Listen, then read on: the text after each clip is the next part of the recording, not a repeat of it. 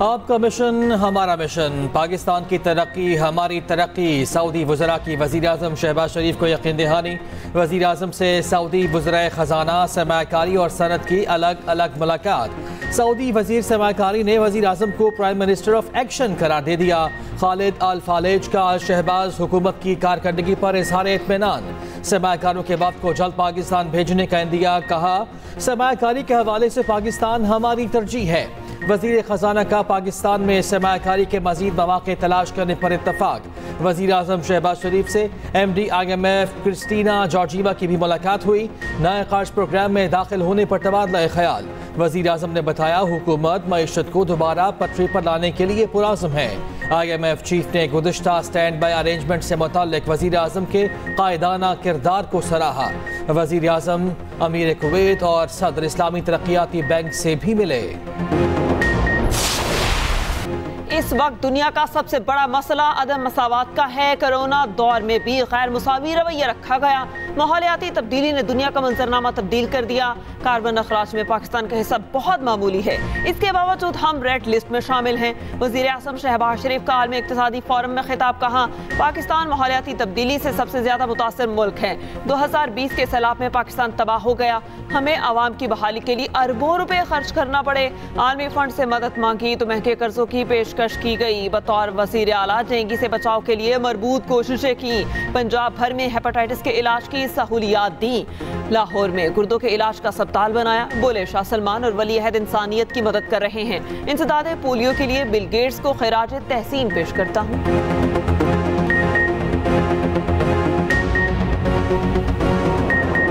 وفاقی حکومت کا بڑا فیصلہ، اسحاق ڈار، وزیر اعظم شہباز شریف کے نائب مقرر۔ کابینہ ڈویژن نے نوٹیفیکیشن جاری کر دیا۔ اسحاق ڈار ملکی تاریخ کے چوتھے ڈیپٹی وزیر اعظم بن گئے۔ اس سے پہلے ذوالفقار بھٹو، نصرت بھٹو اور پرویز الہی ڈیپٹی وزیر اعظم رہ چکے۔ اسحاق ڈار اس وقت وزیر اعظم کے ہمراہ سعودی عرب میں موجود ہیں۔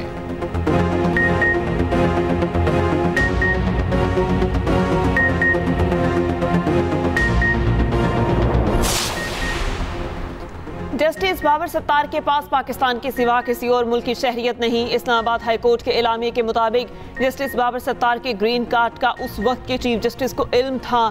پاکستان اور امریکہ میں جائیداد ٹیکس ریٹرنز میں ظاہر کر رکھی ہیں۔ غیر معمولی صلاحیتوں کے حامل فرد کی وجہ سے جسٹس بابر ستار کو امریکہ کا مستقل ریزیڈنسی کارڈ ملا تھا۔ جسٹس بابر ستار کی والدہ کا سکول انیس سو بانوے سے چل رہا ہے۔ جسٹس بابر ستار کی فرم سکول کی لیگل ایڈوائزر تھی اور فیس وصول کی۔ دو ہزار پانچ میں جسٹس بابر ستار امریکی نوکری چھوڑ کر پاکستان آ گئے اور تب سے یہی ہیں۔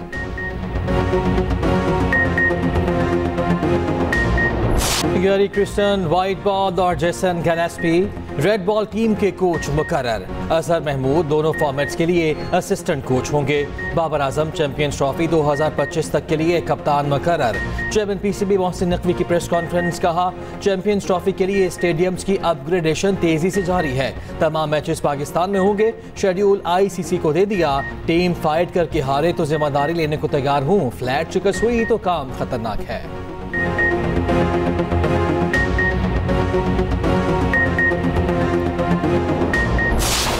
Uh, Egypt is doing now better, but Egypt is also uh, faced with difficult environment. Pakistan کو نمایاں مشکلات کا سامنا ہے۔ M D I M F Kristalina Georgieva کی ورلڈ اکنامک فورم سے گفتگو کہا چند سال کی مشکلات کے باوجود ترقی اور معیشت بہتر ہے۔ ہم نے ترقی کے تخمینوں کو اس سال کے لیے بہتر کیا۔ کرونا کے باعث دنیا کو تین اشاریہ تین ٹریلین ڈالرز کا نقصان پہنچا۔ اول ترجیح ہے جن ممالک میں مہنگائی زیادہ ہے اسے ٹارگٹ تک لایا جائے۔ وزیر خزانہ محمد اورنگزیب نے کہا پاکستان موسمیاتی تبدیلیوں سے زیادہ متاثر ہونے والے پانچ ممالک میں سے ایک ہے۔ دو ہزار بائیس میں آئے سیلاب سے تینتیس ملین افراد کو نقصان پہنچا۔ متاثرین میں سولہ ملین بچے بھی شامل تھے۔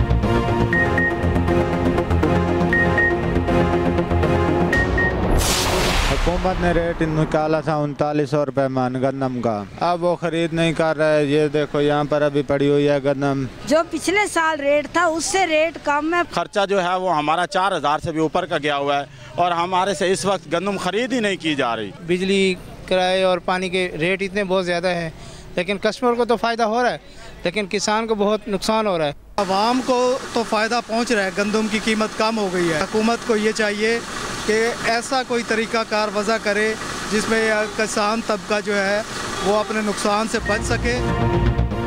وزیر اعظم کے نوٹس کے باوجود گندم کی مارکیٹ میں جان نہ پڑ سکی۔ پنجاب حکومت نے باردانہ دیا، نہ ہی گندم خریداری کا آغاز کیا۔ بروکرز کسانوں سے تین ہزار روپے فی من گندم خریدنے لگے۔ دن بدن گرتے قیمتوں سے کسان شدید پریشان۔ آئندہ فصلیں متاثر ہونے کا خدشہ پیدا ہونے لگا۔ پنجاب حکومت نے انتالیس سو روپے قیمت مقرر کی۔ خریداری کا آغاز انیس اپریل سے طے کیا گیا، مگر ابتدا تک نہ ہو سکی۔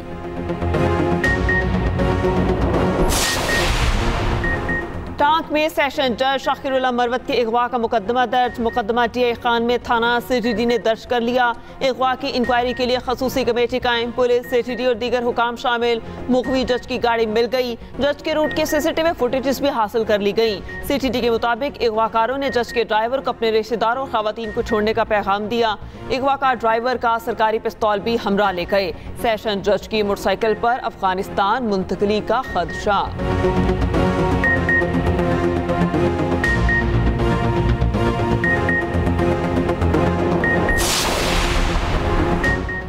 بارشوں کے حالیہ اسپیل نے خیبر پختونخوا میں تباہی مچا دی۔ دو روز میں پانچ افراد جان سے گئے آٹھ زخمی ہو گئے۔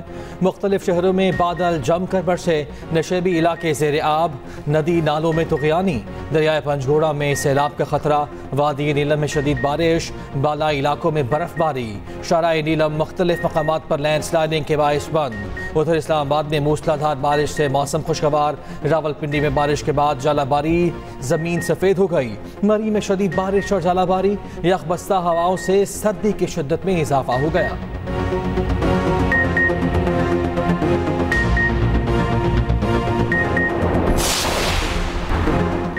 مولانا فضل الرحمان کا نو مئی کو انتخابی دھاندلی کے خلاف اقلا لاہ عمل دینے کا اعلان۔ پشاور میں اجلاس ویڈیو لنک سے خطاب کہا، ملک کو جعلی اسمبلیوں کے ذریعے چلایا جا رہا ہے۔ اقتدار کی جنگ لڑنے والوں نے دھاندلی سے اقتدار حاصل کیا۔ ہم ملک بچانے نکلے ہیں اور حقیقی جمہوریت بحال کریں گے۔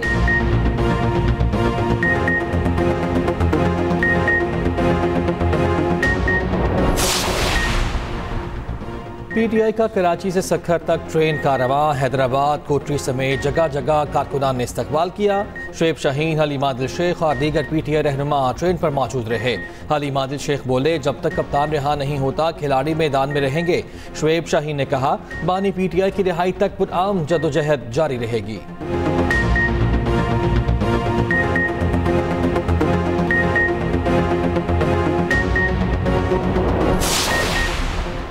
سیاسی معاملات بہتر کیے بغیر معیشت بہتر نہیں ہو سکتی۔ معیشت کے تمام اشاریے منفی ہیں۔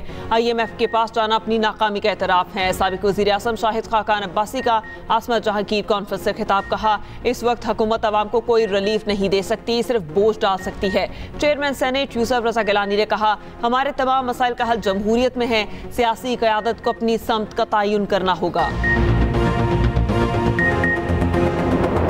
ویسٹ انڈین ویمنز نے دوسرے ٹی ٹوینٹی میں پاکستان کو سات وکٹوں سے ہرا دیا، ایک سو بائیس رنز کا ہدف انیسویں اوور میں پورا کر لیا۔ ایلی میتھیوز کی شاندار نیز سینچری پانچ میچز کی سیریز میں مہمان ٹیم کو دو صفر کی برتری حاصل ہو گئی۔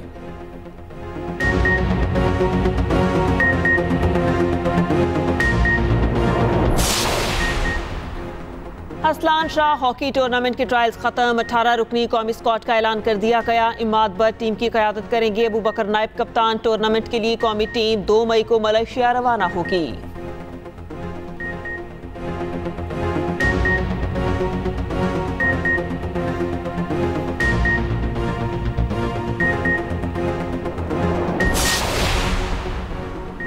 جین ہود بلوچ گیارہویں ہب جی پریلی کے چیمپئن بن گئے۔ اکیاون کلومیٹر کا فاصلہ چونتیس منٹ، اٹھارہ سیکنڈ میں طے کیا۔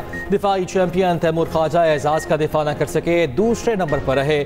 نادن مکسی کی گاڑی خراب، ریس مکمل نہ کر سکے۔ خواتین کی کیٹیگری میں دینا پٹیل، فاتح قرار۔